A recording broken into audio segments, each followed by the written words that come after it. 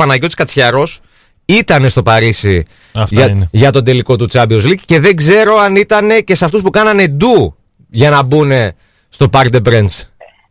Καλησπέρα Η Παναγιώτη. αλήθεια είναι- Καλησπέρα σας, καλησπέρα σας. Η αλήθεια είναι ότι όντως μπήκα αργά, αλλά δεν μπήκα, δεν έκανα κανένα του.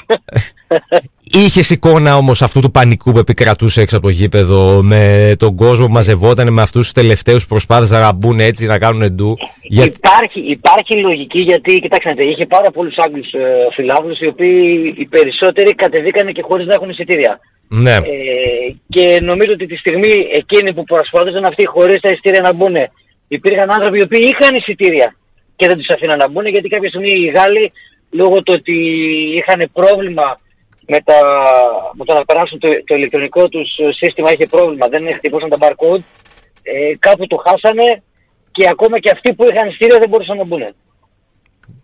Η ανοργανωσία στο μεγαλείο της ήταν λίγο δηλαδή. Για τελικό Champions League, ναι, UEFA και τα ναι, λοιπά. Για, για, για τελικό Champions League όντως θα μπορούσα να πω ότι ειδικότερα η μία τελευταία ώρα ήταν ε, πραγματικά λίγο, λίγο τραγική. Γιατί λέμε για την Ελλάδα πολλές φορές ότι είμαστε τριτοκοσμικοί ποδοσφαιρικά, αλλά καμιά φορά γίνονται και, γίνονται και έξω. Και το χειρότερο από όλα είναι ότι δεν αφήναν να μπουν ο κόσμος και δεν τους δίνανε και καμία εξήγηση για ποιο λόγο δεν αφήναν να μπει ο κόσμος. δηλαδή τους διώχνανε, τους μπρώχνανε να φύγουν να κάνουν, αλλά χωρίς να τους εξηγήσουν ότι δεν λειτουργεί το σύστημα, ελάτε μετά, κάτι οτιδήποτε. Χημικά, Τίποτα. χημικά πάντως δεν Εντάξει, είχε υπήρχαν και- Παναγιώτη. υπήρχαν ε. και πο- υ- Δακρυγόνα υπήρχαν και δεν πολλοί είχε. Άγγλοι. Ορίστε. Δακρυγόνα δεν είχε, λέω. Από την αστυνομία και τέτοια Όχι, ναι. δακρυγόνα δεν είχε. Δεν είχε δακρυγόνα, δεν είχε. Κάτι είναι και αυτό. Δεν Ναι. είναι ελληνικό στοιχείο τέτοιο, αλλά έχει παιδιού, εσύ, μία Πανα... Παναγιώτη, σε, Πάτε- σε χάνουμε λίγο. Κάνεις κάποιες διακοπές. Δεν ξέρω αν είσαι και εν κινήσει Μ' κιόλας. ακούτε; Τώρα σε ακούμε, τώρα σε ακούμε. Ναι, τώρα σε ακούμε. Τώρα σε ακούμε λίγο καλύτερα, ναι. Ωραία. Ε, η αλήθεια είναι ότι εκεί δεν έχουμε στην αστυνομία, δεν, ε, δεν λυπάται. Πολύ εύκολα χτυπάει και νομίζω ότι κάποια στιγμή το νιώσαν αυτό οι περισσότεροι Άγγλοι φίλαθλοι. Ναι, ναι. Πάντως εντάξει, επειδή εσύ δεν εμπλέκτηκε σε αυτά τα οποία τα σκηνικά τα οποία για να ανοίξω, μπήκες Όχι, μέσα. καμία σχέση. Καθαρά Απλώς ποδοσφαιρικά είδα- η εμπειρία Ακριβώς. άξιζε, νομίζω. Ακρι- ακρι- όχι μόνο άξιζε, ήταν καταπληκτική εμπειρία. Και το ακόμα καλύτερο είναι ότι η ομάδα μου, γιατί εντάξει εγώ ήμουν με τη Ραλ, γιατί... Μπράβο Παναγιώτη. ε, Μπράβο ε, Παναγιώτη. Έτσι. ε, νομίζω ότι Ναι. το σήκωσε, έστω, έστω και αν όλοι λένε ότι δεν άξιζε ή δεν έκανε, άξιζε η όλη πορεία φέτος τη- του Champions League της Real, νομίζω ότι το άξιζε και με το παραπάνω. Απέκλεισε τις πιο δύσκολες ομάδες, έκανε τρομερές ανατροπές, ε, μια ομάδα η οποία έχουν φύγει τα τελευταία χρόνια πάρα πολλοί ποδοσφαιριστές, δείχνει ότι το, η ομάδα είναι ομάδα, το μέταλλο της ομάδας πραγματικά είναι πολύ πολύ πολύ μεγάλο. Και γενικά νομίζω ότι το, βλέ- το είδαμε νομίζω και στην Ελλάδα για να κάνω και λίγο τη γέφυρα εδώ ε, και από τους πέντε μεγάλους που το κάνανε όλοι κατά διαστήματα αυτό το οποίο έκανε και η Real και έχει πάψει νομίζω ο Παναγιώτης αποτελεί ταμπού για τις μεγάλες ομάδες δηλαδή το να περιμένεις στα δύο τέταρτα και να, και να βγαίνεις στο transition και να μην πηγαίνει συνέχεια σε ένα κυριαρχικό παιχνίδι. Μα, μα νομίζω ότι πλέον το ποδόσφαιρο έχει αλλάξει πάρα πολύ. Πρέπει να ε, υπάρχει τόσο πολύ διάβασμα, θα μπορούσα να το πω έτσι, Ναι. πριν το παιχνίδι για το παιχνίδι. Οπότε νομίζω ότι και η Real ήξερε ακριβώς ότι η Liverpool είναι μια πάρα πολύ καλή ομάδα, μια πάρα πολύ καλά γυμνασμένη ομάδα, ότι θα πιέσει, ότι θα παίξει έτσι και αντέξαν τα, ουσιαστικά τα πρώτα 20-25 λεπτά ήταν που η Liverpool ήταν πάρα μα πάρα πολύ καλή σε σχέση με τη Real. Από εκεί πέρα μετά υπήρχε μια ισορροπία στο παιχνίδι. Πάντως Παναγιώτη, πριν πάτε με τον Νίκο στον Άρη, φαντάζομαι, είναι απόλαυση να βλέπεις μια σχέση και φίλος της Ρεάλ, τον Μόντερ και τον Κρός να αγωνίζονται. Είναι παίκτες ε, άλλης κλάσης. Και οι δύο, Νομίζω και ο Γερμανό ότι, και ο ε, Κροάτης είναι. Και ο Μπεζεμά Και το- στα εντάξει, 34. το- Ναι, αλλά οι δύο κάνουν τα πάντα. Και ο Κρός και η Αλάνθαστη, ο Νομίζω Μόντριτς. ότι- Εντάξει. Νομίζω. Νομίζω ότι αυτή η τριάδα στο κέντρο θα μπορούσα να πω γιατί και ο Κασεμίρο κάνει μια συγκεκριμένη δουλειά που όλοι γενικά ας πούμε, δεν τη βλέπουμε. Δηλαδή για να μπορεί ο Μόντριτς και ο Κρός να παίρνουν την μπάλα πιο εύκολα, να παίζουν πιο εύκολα, πιο σίγουρα και να μην έχουν τον νου τους τόσο πολύ στο μαρκάρισμα είναι ο πρώτος που μαρκάρει, ο πρώτος που χτυπάει, ο πρώτος που θα μαλώσει τα πάντα όλα. Νομίζω ότι η τριάδα μαζί είναι πραγματικά το απόλυτο κέντρο της τελευταίας πενταετίας. Ε, Ναι, νομίζω- αλλά. έτσι νομίζω Σωστά, εγώ. συμφωνούμε, αλλά δεν φέρνει τον κόσμο ο Καζεμίρο. Ναι, τον φέρνει ο σίγουρα, Μόντριτς και σίγουρα. ο Μπενζεμά και ο Κρός. Απλώς σίγουρα δεν το συζητάμε, δεν το συζητάμε. Ο Μπενζεμά έκανε καταπληκτική χρονιά. Ο Μόντριτς έχει μια πενταετία, ε, δεν ξέρεις ποια χρονιά είναι καλύτερη.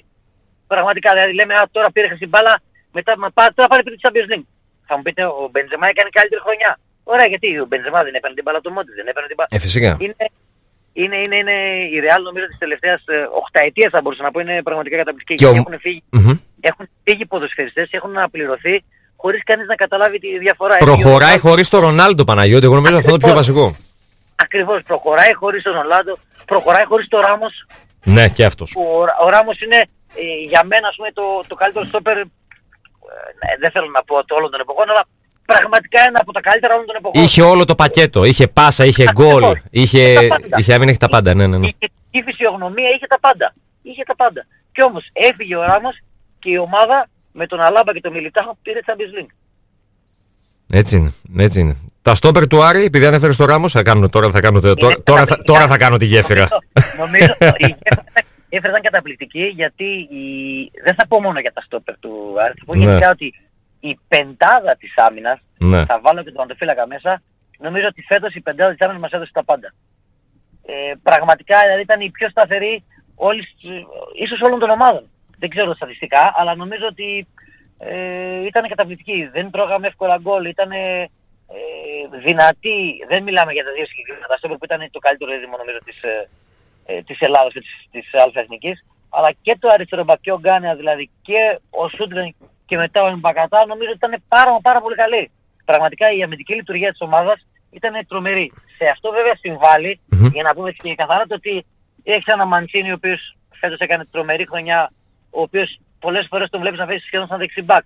Μαρκάρει το παιδί, τρέχει όλο το γήπεδο, το, το τρώει το γήπεδο. Ε, ακόμα, ακόμα και ε, οι άλλοι ποδοσφαιριστές από τα αριστερά που ήταν πιο επιθετικογενείς να τους να πω ότι και αυτοί τις περισσότερες φορές μαρκάραν. Ακόμα, ακόμα και ο Ιτούρμπε δηλαδή που δεν είχε τις ίδιες ανάσες, ακόμα και αυτός μάρκαρε. Ε, δηλαδή η αμυντική... Επειδή μου έκανε την πάσα και πριν σε, σου κάνει η Άννα τη δική της ερώτηση, επειδή ήταν και θέση σου τέτοια, δηλα, νομίζω ότι ο Μαντσίνη, επειδή τον ανέφερες, είναι ο εξτρέμ που θέλει ο Μπακ να έχει μπροστά του.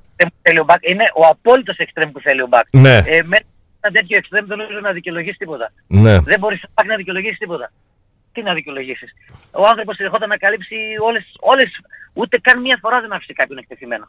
Σπάνιο, δηλαδή σε, όλο το, σε όλη τη διάρκεια του πρωταθλήματος, το play-off, οτιδήποτε να έμεινε κάποιος εκτεθειμένος μια φορά, δύο. Εντάξει, ε. δεν το συζητάμε, δεν έκανε τρομερή χρονιά, ο Μαντίν ήταν τρομερός. Παναγιώτη, να σε ρωτήσω κάτι κι εγώ ακούγοντάς σε να μιλάς έτσι με διθυράμβους για το φετινό Άρη. Θα ήθελα να μας πεις αν το πρόσημο που βάζεις είναι θετικό, μιας που έχει τελειώσει η χρονιά και είμαστε και στη διαδικασία, ξέρεις, όλης αυτής της μεταγραφολογίας και της ονοματολογίας. Αν σου ζητούσα λοιπόν να βάλεις ένα πρόσημο στη χρονιά που πέρασε, θα ήταν θετικό ή αρνητικό για τον Άρη; Θετικότατο 1000% κιόλας. Η συνέχεια του Άρη, ξέρετε, κάθε χρονιά είναι διαφορετική. Αν βάλετε από την πρώτη χρονιά που βγήκαμε από την Β' Εθνική στην Α' Εθνική, καταφέραμε, βγήκαμε Ευρώπη, ξαναβγήκαμε Ευρώπη. Εντάξει, σίγουρα αποτυγχάνουμε στο θέμα της Ευρώπης, δεν προχωράμε. OK. Okay. Νομίζω ότι φέτος θα έρθει και αυτό. Αλλά νομίζω ότι γενικά είναι η, η πέμπτη συνεχόμενη χρονιά ή η τέταρτη; Τέταρτη, τέταρτη. τέταρτη. τέταρτη. Άρα έχουμε και του χρόνου να βγούμε. Ε, βλέπετε λανθάνουσα ναι. την αλήθεια σήμερα. ε, είναι δηλαδή θετικό συνεχώς. Για εμάς ίσως το μοναδικό που μας λείπει και μας ε, κάνει να νιώθουμε ότι ε, ίσως να μπορούσαμε να βάλουμε αρνητικό πρόσημο θα ήταν αν είχαμε καταφέρει και είχαμε πάει σε έναν τελικό. Δεν σας λέω να τον πάρουμε. Σας λέω να έχουμε πάει σε έναν τελικό, να παίξουμε έναν τελικό κυπέλου για να μπορέσουμε να διεκδικήσουμε κάποιον τίτλο. Γιατί νομίζω ότι αυτό λείπει γενικότερα από τον Αριανό. Και μετά το κάτι Αλλά... παραπάνω στην Ευρώπη Παναγιώτη νομίζω. Γιατί τα τελευταία χρόνια και εκεί ε, τα κάνει λίγο μαντάρα. Αν, αν ρωτάτε εμένα, εγώ νομίζω ότι οι συνεχόμενες έξοδες στην Ευρώπη ναι. και αυτό που είπατε, το να συνεχίσουμε να πάμε λίγο παραπάνω στην Ευρώπη, να μπορέσουμε να περάσουμε ομίλους, να μπορέσουμε να δυνατούμε ναι. και άλλα πράγματα, νομίζω είναι αυτό που θέλω εγώ. Αλλά σίγουρα και ένας τίτλος λείπει, ό,τι και να λέμε λείπει γιατί ε, δημιουργεί και μνήμες πάρα πολύ καλές. Και ήταν μια χρονιά, επειδή σου είπε και η Άννα κάνει να βάλεις έτσι ένα πρόσημο, που ήταν βέβαια, έχει ένα θετικό απολογισμό στο τέλος. Ήταν, ήταν ιδιαίτερη όμως, είχε πολλές δοκιμάσεις, είχε ε, το Μάτζιο μέχρι τον ε, Φλεβάρι, μετά ήρθε ο Μπούργος. Διαφορετικοί προπονητές και οι δύο. Τον ένα τον ξέρεις κιόλας και εσύ πάρα πολύ καλά, βέβαια. Ε, και μετά ήρθε ένας άνθρωπος όπως είναι ο Μπούργος που έχει δημιουργηθεί πολλή κουβέντα γύρω από τον τρόπο με τον οποίο δουλεύει. Κοιτάξτε, δείτε, ακόμα και αυτό σίγουρα ανήκουν πάρα πολλά ίσομα και στον Άκη, έτσι. Ναι. Και να είμαστε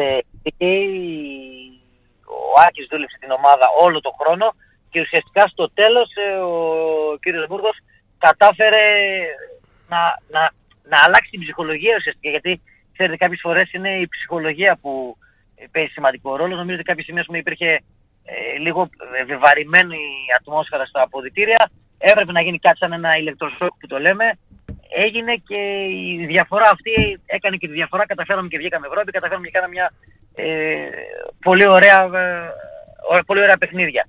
Απλώς ε, σας λέω και πριν το ότι είναι θετικό για μένα να μην αλλάζουν οι προπονητές. Αυτή είναι η άποψή μου. Νομίζω ότι τις ομάδες τις στείλουν. Ακόμα και το ότι αλλάξαμε μόνο δύο, ένα προπονητή μάλλον, όχι δύο. Ε, ένας έφυγε, ένας ήρθε, δύο προπονητές. Είναι, είναι σημαντικό. Δεν πρέπει να αλλάζεις πάρα πολύ προπονητή γιατί πρέπει να χτίζεις μια ομάδα. Δηλαδή, ας πούμε τώρα, αν φύγει το καλοκαίρι και για τον ΑΒ λόγο ο κ. Μπούργος φύγει, τον διώξουνε, φύγει, δεν τα βρούνε, δεν ξέρω γιατί. Ε, πώς θα μπορέσει να έχει συνέχεια αυτή η ομάδα; Σε αυτό το δηλαδή, χτίσιμο... Είμαι της άποψης, ναι.